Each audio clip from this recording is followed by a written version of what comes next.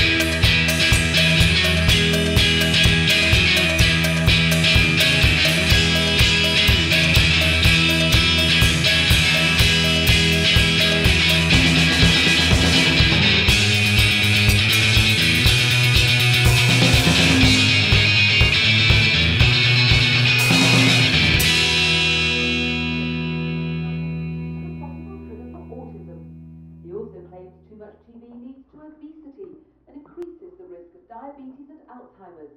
What a worry for parents.